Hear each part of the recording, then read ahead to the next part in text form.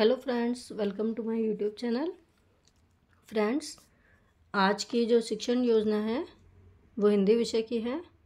इसमें दिनांक, जिस भी दिनांक में आप इस प्रकरण को पढ़ाएँगे, कक्षा सात, विषय हिंदी, समय चालीस मिनट लर्निंग आउटकम बच्चे गद्य एवं पद्य की विधाओं या विशेषताओं के अंतर को समझते हुए आपस में चर्चा करते हैं एवं अंतर को अभिव्यक्त करते हैं।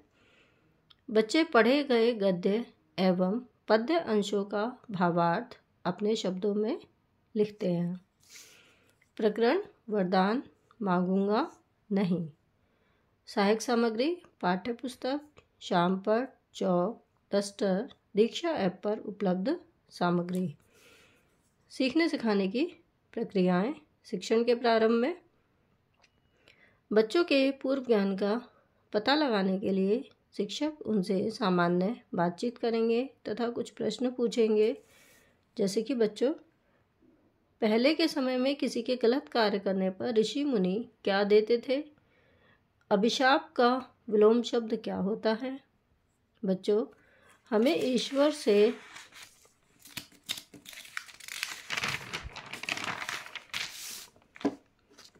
अपनी पूजा या अर्चना के बदले क्या नहीं मांगना चाहिए?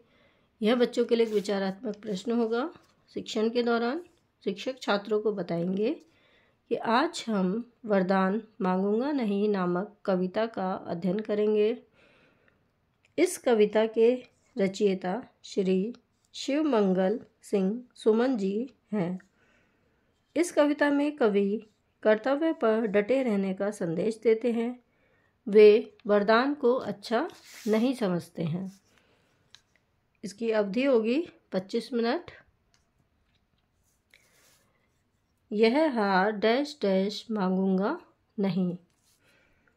शिक्षक उचित स्वर, लय ताल एवं हाव भाव के साथ कविता का वाचन करेंगे तथा उसका हिंदी भावार्थ बच्चों को बताएँगे।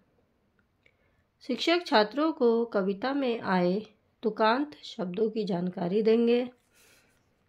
शिक्षक बताएँगे कि कवि कहता है कि मैं जीवन रूपी महासमर में अपने को तिल तिल मिटा दूँगा, लेकिन दया की भीख नहीं मांगूँगा और ना किसी से वरदान ही प्राप्त करूँगा।